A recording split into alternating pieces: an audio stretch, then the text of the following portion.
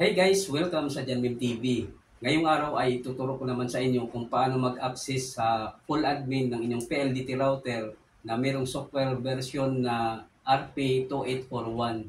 So simulan na natin guys, pero bago ang lahat, huwag niyong kalimutang mag-subscribe at mag-like at pindutin ang notification bell upang maging updated kayo sa susunod kong mga uploads na video.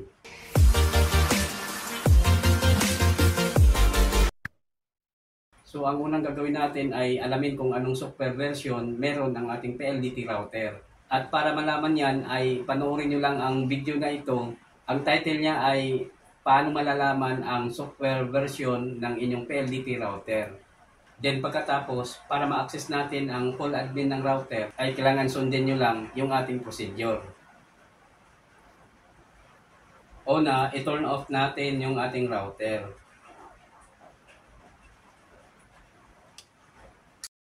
Next naman ay tatanggalin natin yung kanyang fiber optic cable ng dahan-dahan dito sa I.O. box. Ingatan nyo lang guys para hindi ma-damage yung kanyang cable. At tandaan nyo yung kanyang position, meron siyang guide para hindi kayo mahirapan pagbalik.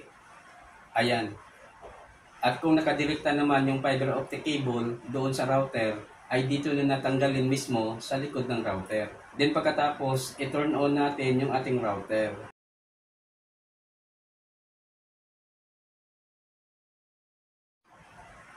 Pagka turn on yan, dapat nakailaw yung kanyang LOS, yung kulay red na light indicator na ang ibig sabihin ay no internet connection. Bagamat wala tayong internet connection, ay pwede pa naman tayo mag-connect sa Wi-Fi router. So, itry natin mag-connect sa Wi-Fi router. Itap lang natin yan. Then, itype natin yung kanyang Wi-Fi password.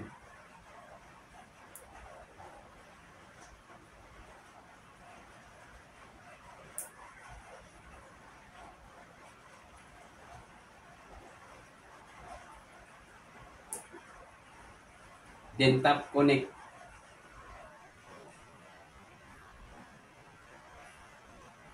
Ayan guys, nakapag-connect tayo. Pero ang nakasulat dito ay connected without internet. Then ang next na gagawin natin ay mag-open ng internet browser. Kahit anong internet browser ay pwede niyong gamitin. So itap lang natin itong Chrome. Then dito sa address bar, para makapag-login tayo sa full admin ng router, ay ito yung itatype natin. Https colon double slash 192.168.1.1 slash fh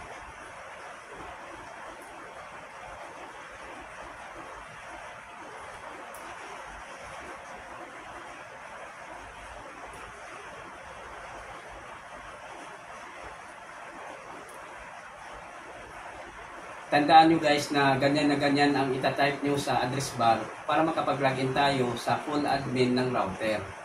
Then itap natin itong go. May lumalabas na warning dito.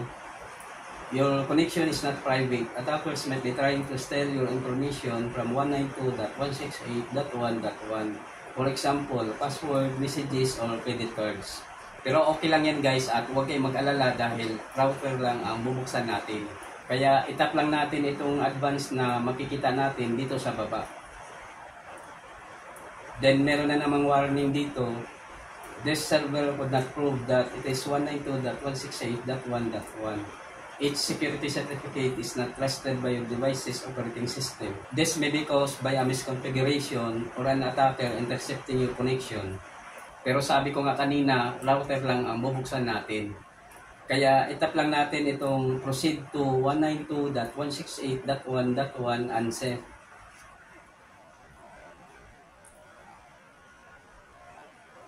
So ayan guys, ito na yung login interface ng full admin ng PLDT router.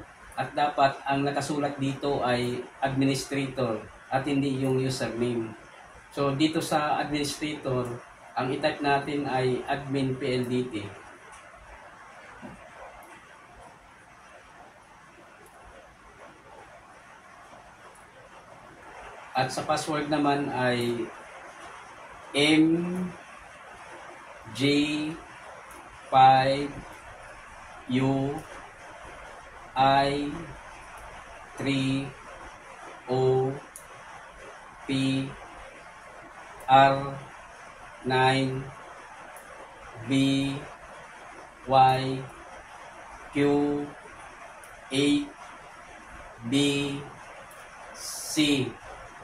X L 1 R B 5 0 E. Then tap login.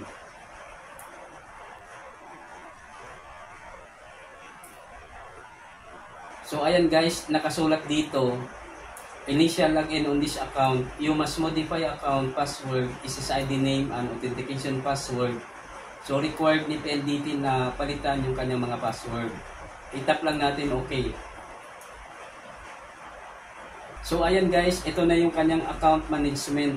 At dito sa old password, itype lang natin yung kanyang default password, itong MJ5 U I 3 O P R 9 B Y Q 8 B C X L 1 R B 5 0 E. At dito sa new password, kayo na ang bahala kung ano ang gusto nyong ipalit na bagong login password. Basta ito ay hindi bababa sa 12 character at merong combination ng uppercase, lowercase, special character at number. Dahil kung wala ay mag-e-error po siya at hindi tatanggapin.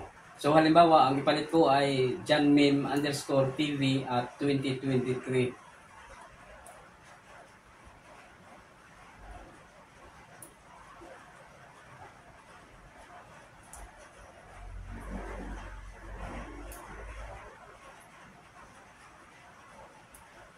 Then, i-retype lang natin sa baba para ma-confirm.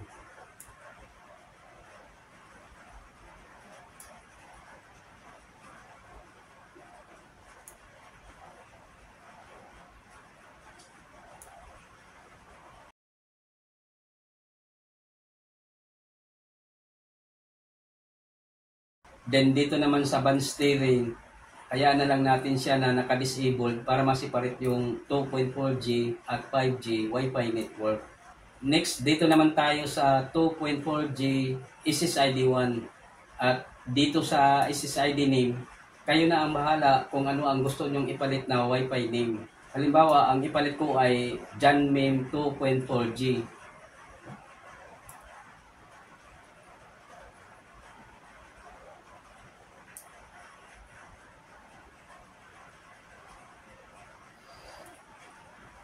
At dito naman sa password, kayo na rin ang bahala kung ano ang gusto nyong ipalit na bagong wifi password.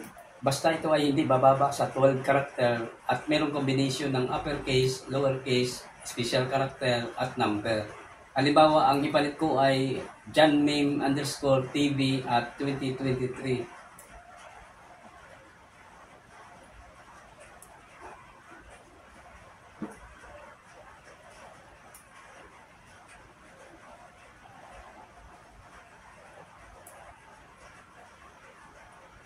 Then, i-retype lang natin sa baba para ma-confirm.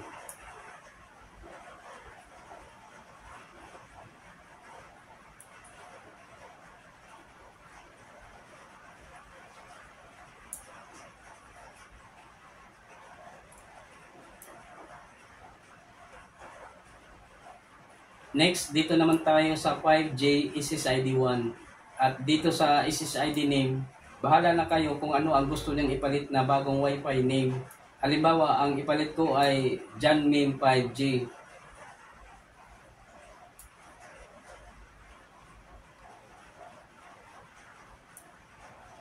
Then dito naman sa password, bahala na rin kayo kung ano ang gusto nyong ipalit na bagong wifi password. Basta ito ay hindi bababa sa 12 character at merong combination ng uppercase, lowercase, special character at number. Halimbawa, ang ipalit ko ay John Meme underscore TV at 2023.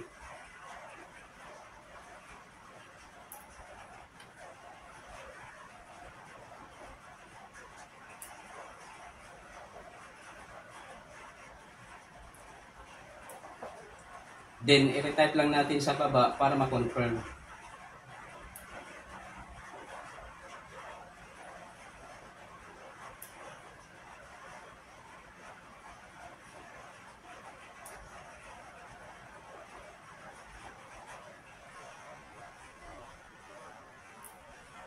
Then, itap natin itong apply.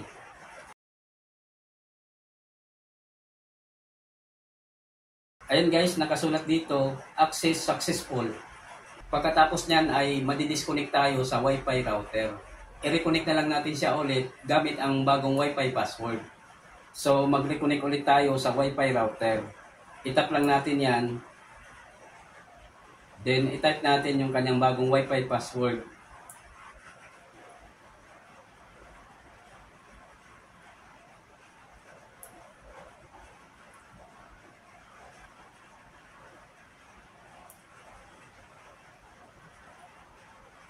Then tap connect.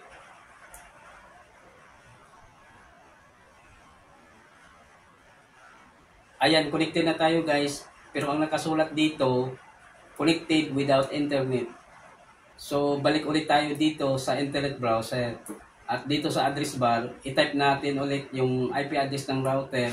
Itong https colon double slash 192.168.1.1 slash FH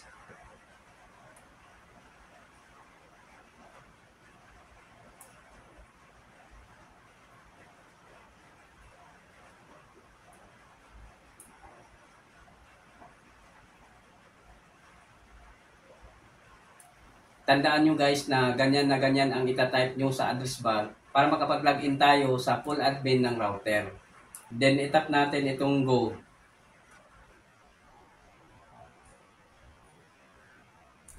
So, ayan guys, nandito ulit tayo sa login interface ng full admin ng router. At tandaan nyo guys, dapat ang nakasulat dito ay administrator at hindi yung username. So, dito sa administrator, ang itype natin ay admin PLDT.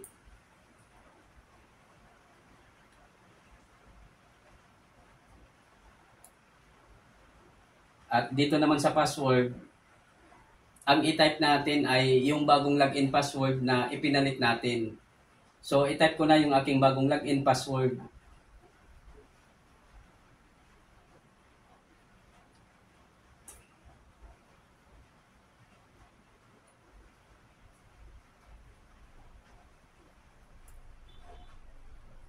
Then, i-tap natin itong login.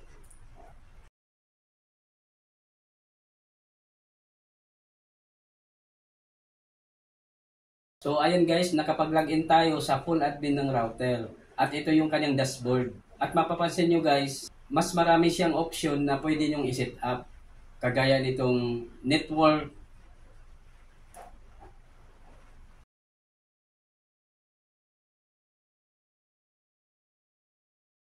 security,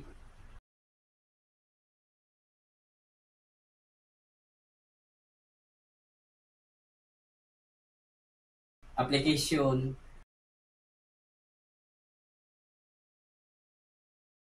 at management. Pagkatapos niyan ay pwede nilang ibalik yung fiber optic cable doon sa I.O. box. Then pwede na natin i-switch on yung ating router. So ayan guys, ganyan lang kadali ang mag-access sa full admin ng PLDT router na mayroong software version na RP2841. Hanggang dito na lang muna at sana ay nakatulong sa inyo ang video na ito ako po si Rodolfo Membreve Jr. at huwag niyong kalimutang mag-subscribe at mag-like at pindutin ang notification bell upang maging updated kayo sa susunod kong mga uploads na video. Bye!